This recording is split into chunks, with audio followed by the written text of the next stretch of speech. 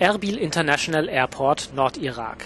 Ungewöhnlich still ist es hier derzeit, denn mehrere internationale Fluglinien haben ihre Flüge nach Erbil vorerst eingestellt, unter ihnen auch die Austrian Airlines und die Lufthansa. Sie reagieren damit auf ein von der irakischen Luftfahrtbehörde verhängtes Flugverbot in den Nordirak. Hintergrund: Die mehrheitlich kurdische Bevölkerung hatte sich in einem Referendum für die Unabhängigkeit des Nordiraks ausgesprochen. Die irakische Regierung erkennt die Abstimmung aber nicht an das Referendum ist nach irakischen und internationalen Gesetzen illegal, sagt auch der türkische Präsident Recep Tayyip Erdogan.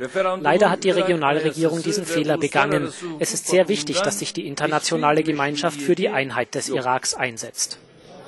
In der Türkei wurde das Referendum mit besonderem Argwohn betrachtet. Dort befürchtet man eine Signalwirkung für die Kurden im eigenen Land. Gegen deren Unabhängigkeitsbestrebungen geht die türkische Regierung seit Jahrzehnten vor